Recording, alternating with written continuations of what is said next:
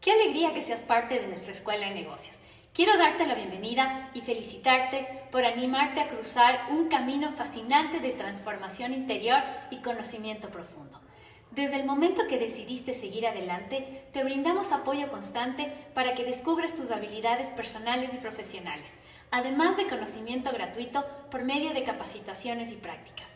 Transformaremos tu mente sin dejarte solo en ningún momento, para que alcances tus sueños en este proceso de crecimiento. Nuevamente, agradezco por confiar en nosotros y te envío un fuerte abrazo de bienvenida. Sigamos creciendo juntos.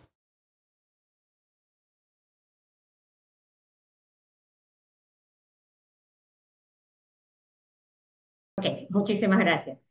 Eh, bueno, les saluda Jessica Vera desde Guayaquil, eh, la distribución Healthiport del territorio de la casa. Okay. Eh, agradezco mucho a las personas que se han tomado su tiempo para conectarse a, esta información, a este, a, este, a este curso, un pequeño taller que vamos a ver hoy día. Eh, que se trata, bueno, eh, vamos a ver eh, una de las herramientas, ¿verdad?, financieras más importantes, ¿verdad?, que tenemos ahora en nuestro negocio, definitivamente es el financiamiento, lo que es el crédito directo. ¿verdad? Eh, es lo que nos permite, permite a, la, a, todas las distribuciones, permite tener la cantidad de ventas que tenemos, ¿ok? Porque sería muy difícil si una persona no tiene para pagar de contado, no tiene pagar, para pagar con tarjeta de crédito, sería muy difícil que la misma distribución pueda otorgar un crédito, ¿ok? Porque tendríamos mucha inversión que hacer, ¿ok? Entonces, vamos a ver un poquito lo que tiene que ver con el crédito, pero antes de eso, bueno, vamos a compartir pantalla.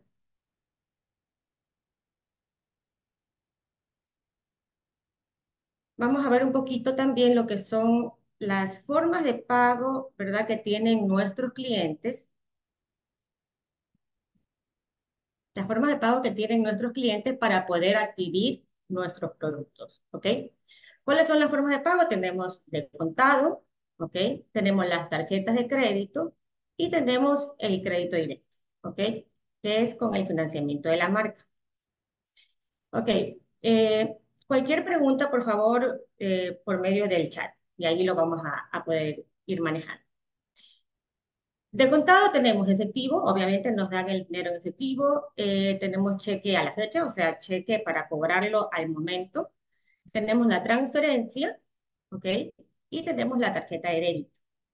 Algo importante con la tarjeta de débito que tenemos que recordar es eh, que no todos los bancos eh, dan la misma cantidad de dinero en la tarjeta de débito. Hay tarjetas de débito que, por ejemplo, en el Banco del Pacífico, solamente se puede utilizar la tarjeta de débito hasta mil dólares. ¿Ok? La tarjeta del Banco de Guayaquil sí da un poquito más, que son 4 mil, 5 mil dólares. Y así dependiendo de la tarjeta de crédito. Y también hay que tomar en cuenta que la tarjeta de débito igual cobra una comisión, ¿ok? Eh, y también hace lo que son retenciones. Entonces, siempre si tenemos la, la posibilidad de, de, que el cliente haga una transferencia, pues va a ser mucho mejor para nosotros. ¿Ok? Ok, tenemos la otra que es tarjetas de crédito, ¿verdad? Tenemos en, en el país, tenemos Mastercard, Visa, ¿ok?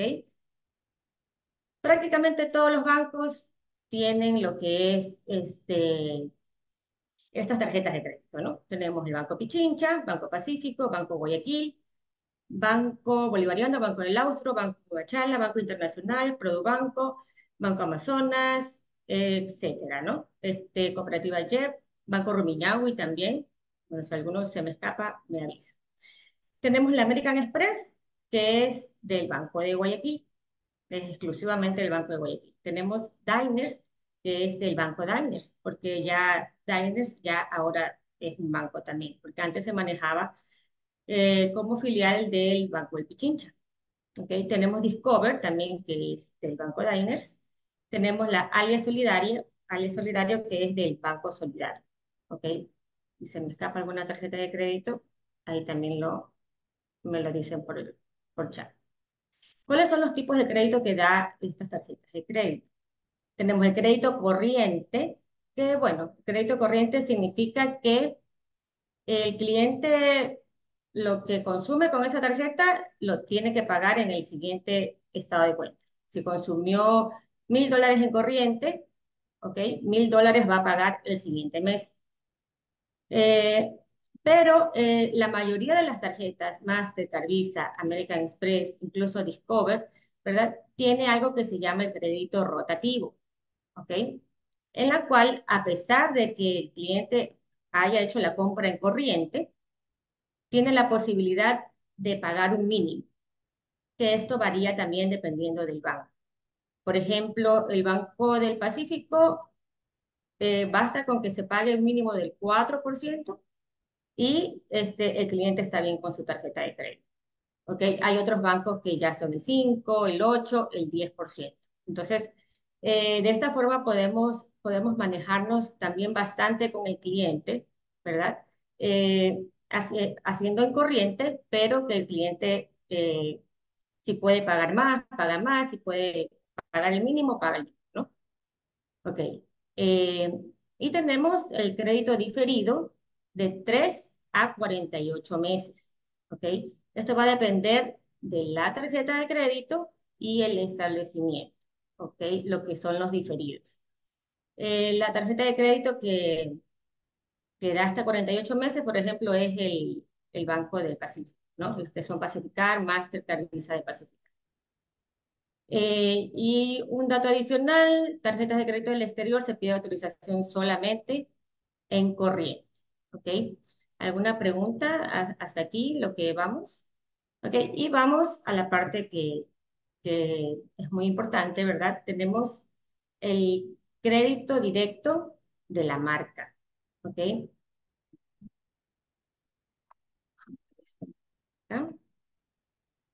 Ok. Son aquellas órdenes donde el cliente realiza la compra bajo la modalidad de crédito rotativo y pagará su obligación de acuerdo a las condiciones acordadas, con una tasa de interés que no superará el máximo permitido por el Banco Central del Ecuador, que en la actualidad es del 16.77%. ¿Ok? Eh, esto es importante, ¿no? Porque siempre la marca eh, se va a regir con esta tasa de interés. O sea, eh, nunca va poder sobrepasarse de esta, de esta tasa de interés, eh, que sí sucede con, con otros establecimientos, ¿no? Que hasta a veces duplican el valor del producto para poder dar un crédito directo.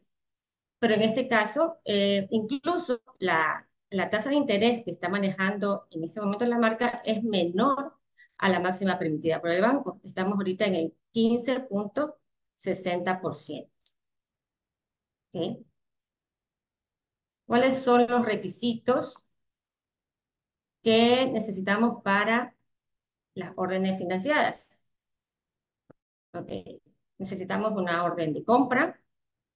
Eh, términos de la orden de compra, o sea, es importante que cada vez que firmemos un contrato, le expliquemos al cliente los términos más importantes. ¿Por qué? Porque hay muchos clientes que no se toman el tiempo de leerlo. Entonces sí es importante más que todo lo que tiene que ver con los intereses. Eh, intereses por mora. Porque sabemos que el interés por mora es bastante alto. El interés por mora es del 9% de las cuotas que el cliente tenga vencido. Entonces, eh, es importante que el cliente sepa esto desde un inicio para que sepa que eh, no se debe atrasar.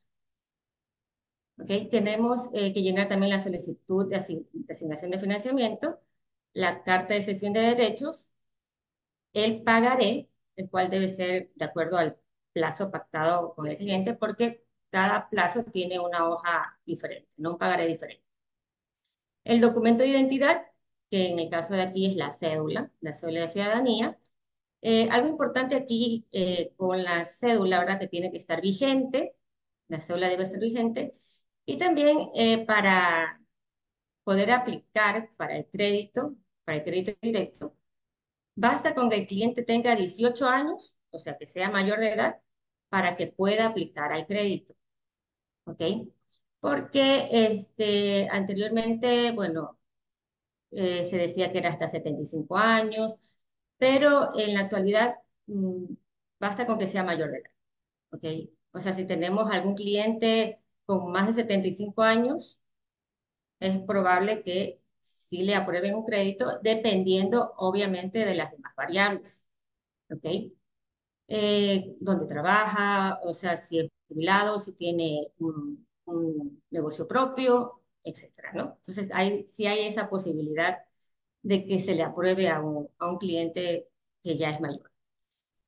Prueba de ingresos, en los casos en que así lo requiera, ya lo vamos a revisar también ya mismo.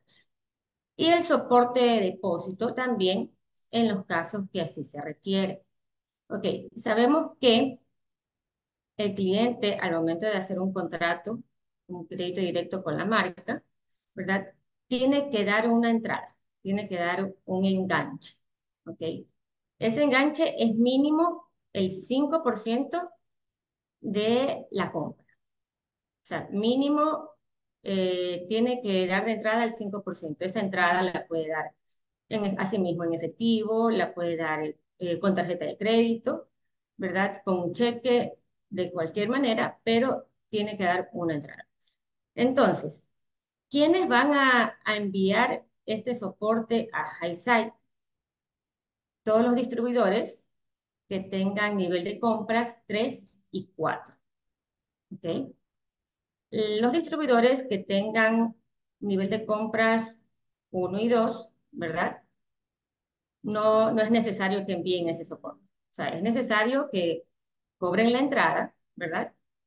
Pero no es necesario que envíen el soporte a, a ¿Ok? Me avisan si tenemos alguna pregunta. La prueba de ingresos va a depender de la actividad económica del cliente. ¿Ok? Si es empleado, ¿verdad? Los empleados son los clientes que trabajan para otra persona o empresa a cambio de un salario. ¿Ok? Todos estos pedidos serán verificados, o sea, van a verificar el empleo sin importar el nivel. Es discreción de la marca procesar los pedidos de nivel 1 al 4 sin la verificación del empleo, teniendo en cuenta otras variables, ¿verdad? Entonces, eso siempre va a ser, eh, dependiendo de la marca, ellos van a ver si es necesario hacer la verificación del empleo o no hacerlo, dependiendo el nivel con el que se califica el cliente. Ok, ¿cuáles son las pruebas de ingreso válidas? Tenemos el desprendible de nómina, que es el rol de pago, ¿no? Que todos conocemos. Eh, importante que no se pase de dos meses este rol de pagos. ¿Ok? O sea, ahorita estamos en enero, este rol de pagos debería ser de diciembre o de noviembre. ¿Ok? No pasarse de, de esas fechas hay casos en que los roles de pago, o sea, las empresas dan dos roles de pago. Dan uno a la quincena y otro a fin de mes. Entonces, para completar el valor, ahí sí es importante que se envíen los dos roles de pago, o sea, el rol de pago de, de la quincena y el rol de pago de fin de mes para poder completar el valor de lo que el cliente en realidad cobra mensual. Okay. También otra, otra este, prueba de ingreso válida cuando es un empleado es la declaración de impuestos vigente, ¿no? Esta, esta declaración, eh, sabemos que todas las personas tenemos que hacer declaraciones de impuesto a la renta, aunque sean empleados, ¿ok? Entonces, una declaración de, impuestos también sirve. Tenemos eh, cuando el cliente es independiente o jubilado. ¿ok? Esto, este tipo de clientes son aquellos que no tienen vinculación con un contrato de trabajo, por lo tanto, obviamente no se va a poder verificar telefónicamente, ¿no? ¿Cuáles son las, las pruebas necesarias en este caso? Las pruebas válidas para el cliente independiente, los estados de cuenta. Los tres últimos estados de cuenta de, del banco. ¿Ok? Entonces, estamos en enero, tendrían que enviar el estado de cuenta de octubre, noviembre y diciembre. Importante que este estado de cuenta tenga todos los datos, ¿ok? Que es el banco donde tiene la cuenta, el, el número de la cuenta, el nombre del cliente, el número de cédula del cliente y todos los movimientos que tengan mensuales. Todos los movimientos mensuales porque esto es eh, lo que va a, verificar la marca para eh, ver si le aprueban o no le aprueban el crédito. Ok. Eh, también se, se, puede, se puede entregar una declaración de impuestos vigente. ¿Qué declaraciones se pueden entregar? Se pueden entregar la declaración de impuesto a la renta, ¿ok? Sabemos que el impuesto a la renta, esta declaración es anual, ¿ok? Entonces, eh, si estamos ahorita en enero 2024, lo más probable es que todavía no se haya entregado el, el impuesto a la renta del 2023. Entonces, bastaría con entregar el impuesto a la renta del 2022, ¿verdad? Para eh, ponerlo aquí como una prueba de ingreso válida.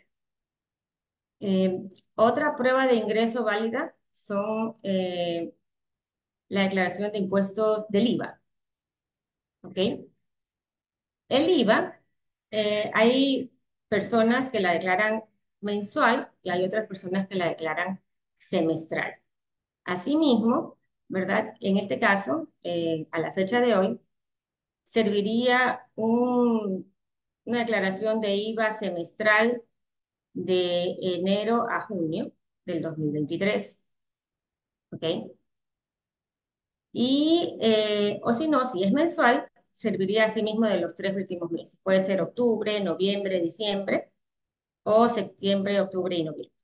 Pero tiene que ser de los tres últimos meses. Entonces, ahí van a verificar en realidad cuánto tiene de ingresos el cliente. Cliente jubilado, pues eso es un poco más fácil porque el desprendible de pago de la jubilación, ¿ok? Con fecha máxima de seis meses. Un rol de pagos, un rol de, jubilación. A los clientes jubilados, a todos los que son jubilados, mensualmente, le envían un rol de pagos a su correo electrónico, el 20 de cada mes. El 20 de cada mes se envía este, este rol de pagos. Entonces, es fácil para, el, para nosotros decirle al cliente, ¿sabe qué? Por favor, revise su, su correo electrónico, ¿verdad? Para poder encontrar algún rol de pago. Y lo bueno también es que sirve de hasta seis meses anteriores. Eh, un caso que por algún motivo no tengamos ese rol de pagos, eh, sirve también los extractos bancarios de los tres últimos meses, ¿ok? Y la declaración de impuesto a la renta. O la declaración de impuesto de IVA, ¿no?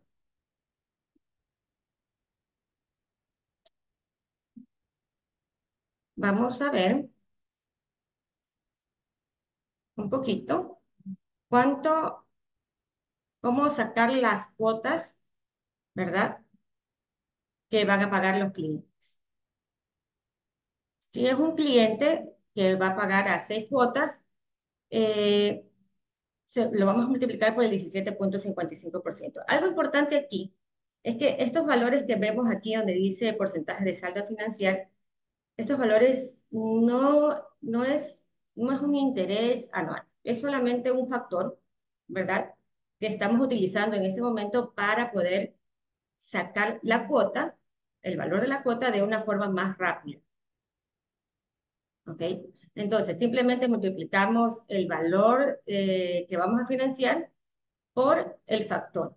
Si es a seis meses, por el 17.55%. Si es a 12 meses, por el 9.17%. Si es a 18 meses, el 6.38%. A 24 meses, el 4.99%. Y a 30 meses, el 4.16%. ¿Ok? Entonces, tenemos que, con lo que es el crédito directo, podemos financiar máximo a 30 meses.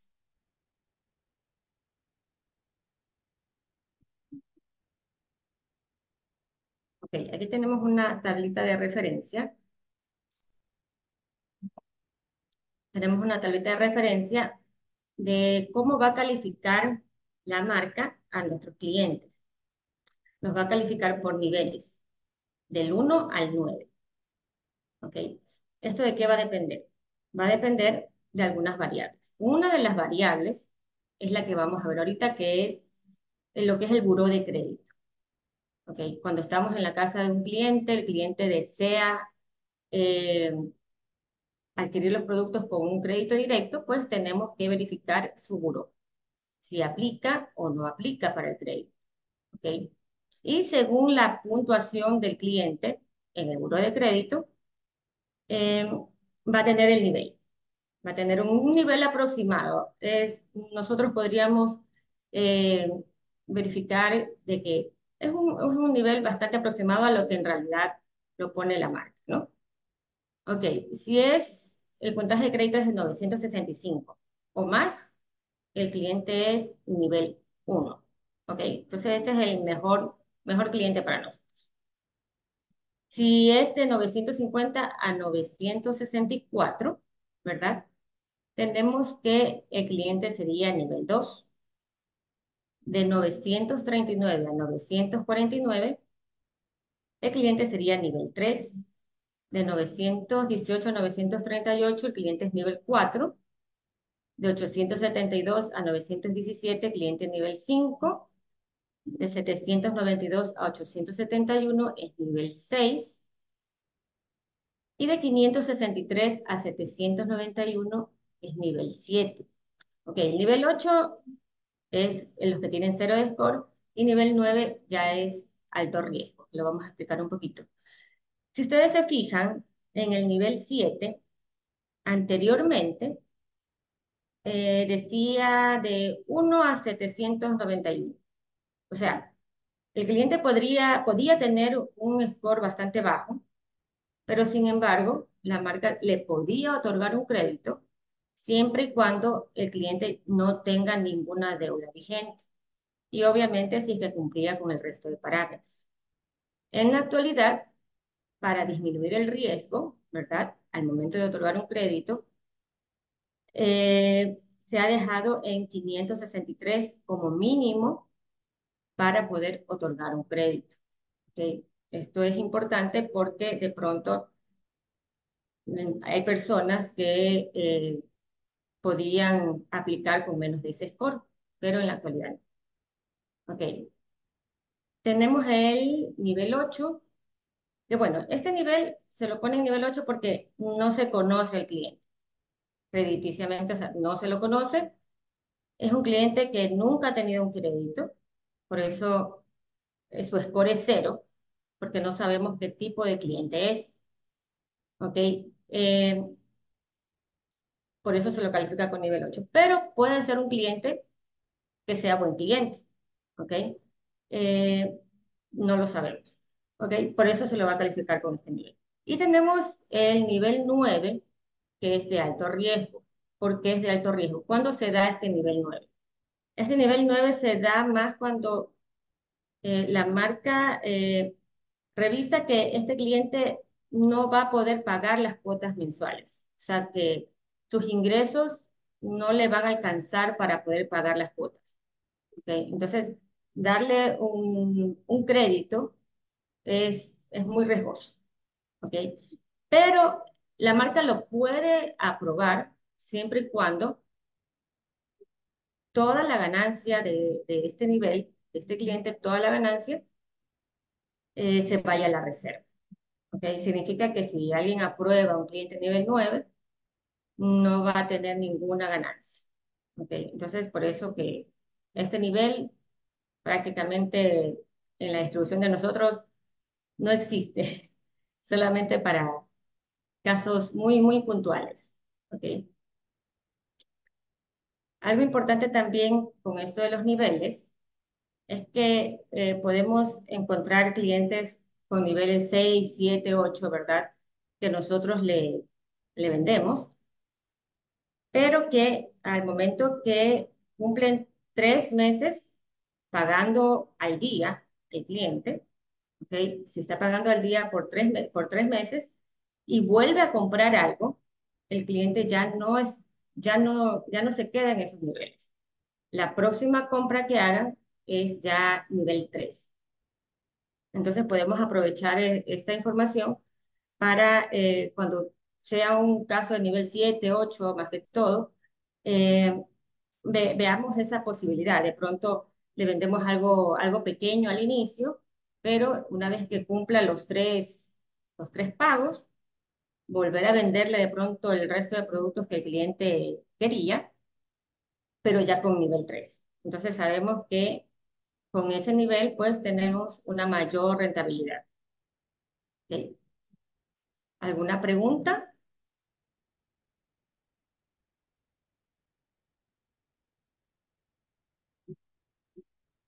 ¿Tenemos alguna pregunta?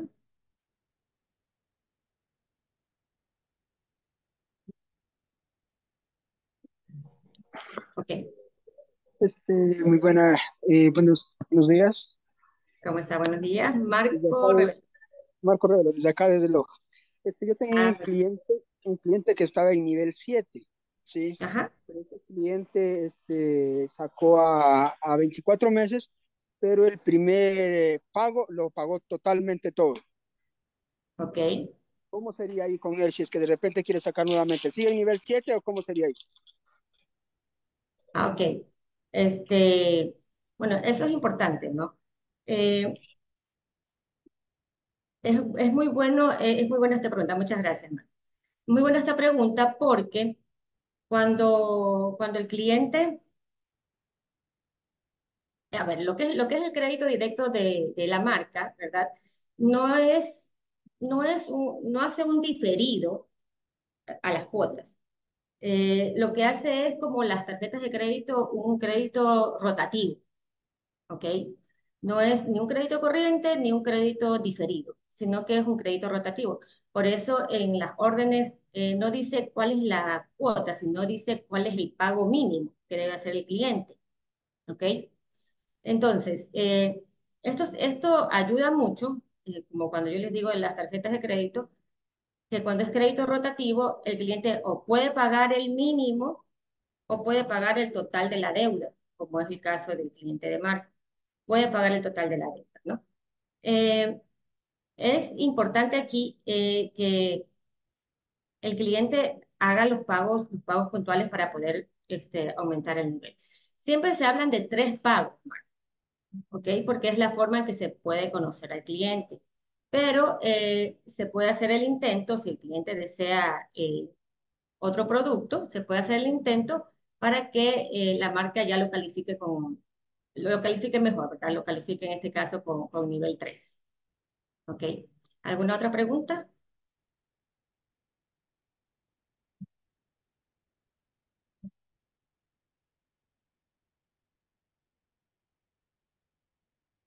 ¿Alguien que desee preguntar algo? De tarjetas, de las tarjetas, del, del crédito. Ok, entonces. Pueden escribirlo en el chat también, si tienen alguna, alguna pregunta.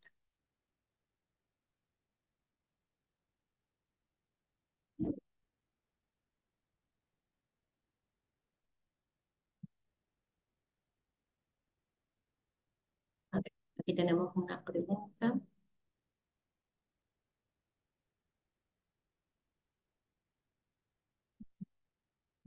A ver, dice Corporación Oana, ¿cuál sería el tiempo prudencial ideal para no asumir tanto riesgo al momento de financiar? Bueno, eh, lo ideal eh, sería a seis meses. O sea, financiar todo hasta seis meses sería, sería lo ideal, porque el riesgo es mucho menor, ¿verdad? Terminan los seis meses, el cliente termina de pagar su deuda y se acabó. ¿Ok? Cuando eh, lo hacemos a 24, a 30 meses, pues el riesgo aumenta, obviamente. El riesgo aumenta porque en ese tiempo no sabemos qué va a pasar con el cliente.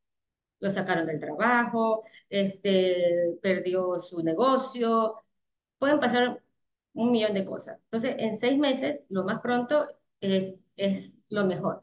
Pero sabemos que a veces es difícil, ¿no? Es difícil que un cliente pueda este, pagar en seis meses. Entonces, Lo más recomendable eh, para poder hacer la venta, obviamente, y no tener tanto riesgo, es de 12 o 18 meses.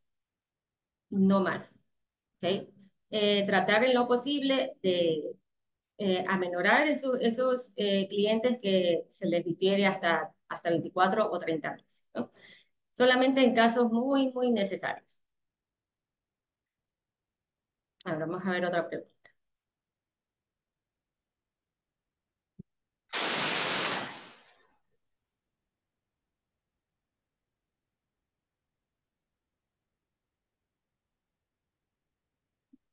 A ver, dice aquí alguien, María José Castro, para que pase de ese nivel bajo a uno mejor, la compra nueva que hace, ¿cuánto es el límite? Y la compra sería con crédito para que suba el nivel. ¿Y qué pasa si en vez de crédito la segunda compra lo hace de contado? Si lo hace de contado, se queda con el mismo nivel. ¿Ok? Si lo hace con, con el crédito, eh, va a depender de la primera verificación que se le hizo al cliente. ¿Ok? En la primera verificación se supo del cliente cuánto ganaba, ¿verdad? Eh, dónde, dónde trabajaba, se, ya se supo todo al, del cliente y se le da, se le asigna como un cupo, como un cupo interno, a pesar de que haya comprado un valor bajo, ¿ok? Entonces, cuando eh, se vuelve a hacer una compra, el cliente tiene como un, un valor disponible, se podría decir, para hacer la compra. Entonces, esto hay que verificar en el sistema, más o menos cuánto disponible tiene el cliente para volver a hacer otra compra. Entonces, el límite depende del cliente. Ahora, si es un cliente que en la primera vez compró mil dólares, ¿ok? Y en la segunda vez quiere comprar dos mil dólares y de pronto el cliente no gana mucho, digamos, para poder hacer la, la otra compra o de pronto sí gana lo suficiente, eh, ahí es aconsejable eh, mandar un rol de pagos, algo que certifique que el cliente de pronto aumentó sus ingresos para que le puedan aprobar la nueva compra que es más alta. ¿Okay? Pero el, el nivel, o sea, el valor límite no, no lo sabríamos nosotros, sino que depende de, de cada cliente. ¿okay?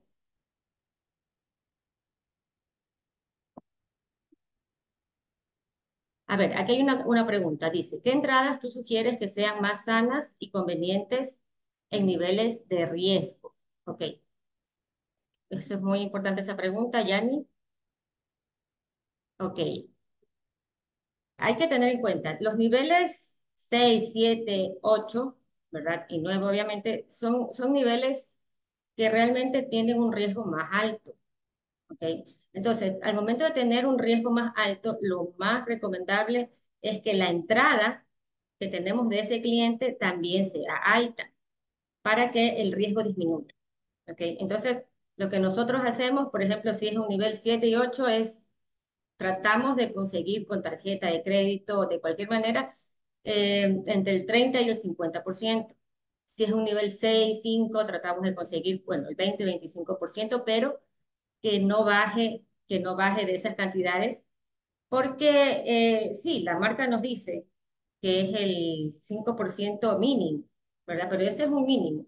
No trabajar exactamente con, con esos valores de entrada porque el riesgo siempre va, siempre va a aumentar. ¿Cuál es la cantidad para financiar de acuerdo al puntaje del crédito?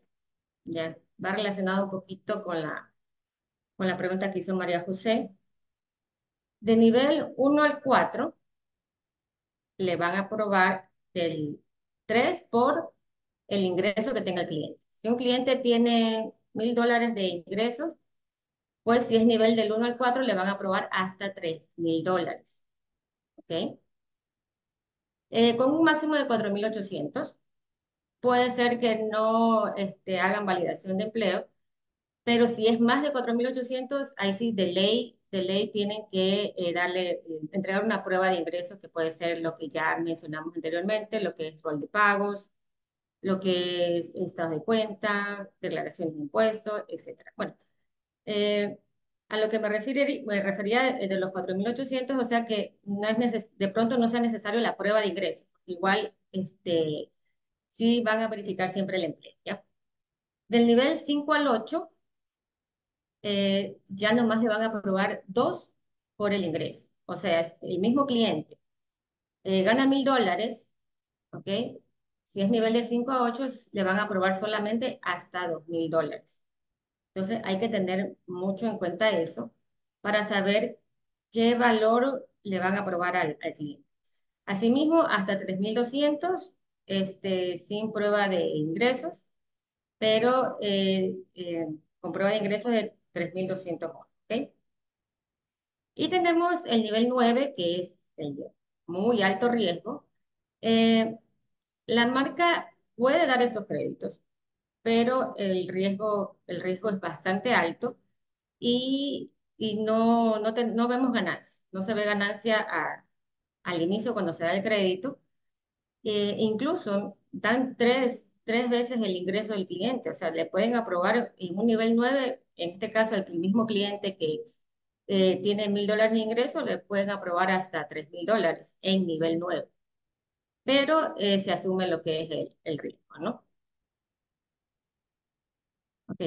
Eh, hasta aquí lo que tiene que ver con el financiamiento, ¿verdad? Con lo que es el taller del día de hoy. Sí me gustaría que si tienen alguna pregunta, poder, poder ayudar o de pronto lo escriben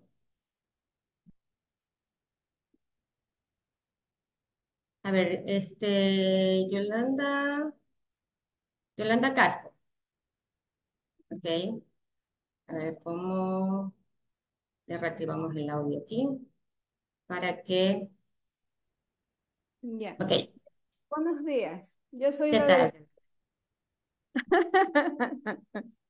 Ok, la, la manito. Sí, yo soy la del burrito, te decía. Ah, ok, ok, ok. A ver, cuéntame, Yolanda. Jessy, a ver, una, una pregunta. Ujú, En un nivel 9, o sea, que es terrible aceptar un nivel 9, ¿no? Pero en ujú, alguna ocasión yo sí lo acepté. Ok, El único crédito que, que lo acepté. Ya. Pero todo se te va al, al- o sea, yo sé que no recibo eh, un ingreso de eso, pero llega un momento en el que te lo devuelve, pero en, ay, se me fue la palabra. ok. Este, devuelven las reservas, cuando devuelven las La reservas. reserva. Vale. Oh, ya. ujú. Únicamente en la Ah, reserva. ah, sí, a ver. Este, ese valor se va a la reserva. Pero que yo te pueda decir el cliente termina de pagar y tú vas a ver exactamente ese valor, no es así, No. ¿ok? No. Todo se va a la reserva y va a la política de reservas, ¿ok? Que es, es una política bastante extensa, en la que si el cliente tiene, en en este caso el distribuidor, después de 15 meses empieza a ver parte de esa reserva, dependiendo de algunos factores, ¿ok? Si Claro. cumple con todos los factores, a los 15 meses ve el 20% del excedente de la reserva, ¿ok? Hasta Oh, cumplir los 27 meses, que es cuando puede ver el 100% del excedente de la reserva, ¿ok? Entonces, entra, entra a ese sistema, ¿ok? O sea, se va a la reserva y entra al, al sistema de eh, recuperación de, de reservas de, de todos los distribuidores, ¿ok? ok, gracias. Gracias a ti, Yolanda. ¿Alguna otra pregunta?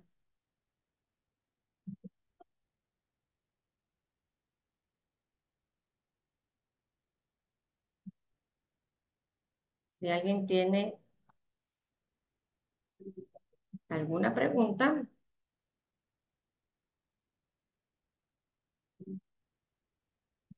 adicional para poder, para poder contestarla.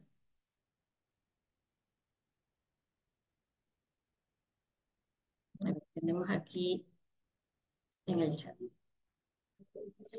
Ok.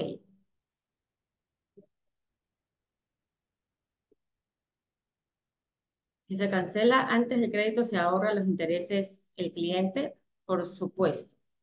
Eh, recuerden que esto es un crédito rotativo, ¿ok? En la cual si el cliente mientras más pronto termine de pagar, eh, menos intereses va a terminar cancelando. Eh, es muy, muy beneficioso. ¿Qué significa prueba de ingreso? El rol de pagos. El rol de pagos puede ser eh, declaración de impuesto a la renta o eh, lo que son los estados de cuenta, ¿ok? Bueno, entonces hasta ahí vamos a llegar el día de hoy. Les agradezco mucho, ¿verdad? El tiempo que se han tomado para ver esta, esta reunión. Espero les haya servido, ¿ok? Y este, muchísimas gracias a todos, ¿sí? Hasta luego.